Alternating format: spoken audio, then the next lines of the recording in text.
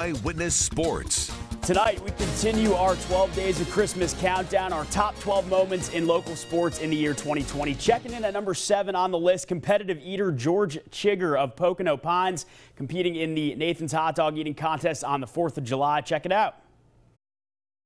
That screams 4th of July more than the Nathan's Hot Dog Eating Contest, and we had a local rooting interest in this year's competition. George Chiger of Pocono Pines, one of the five men's competitive eaters who took part.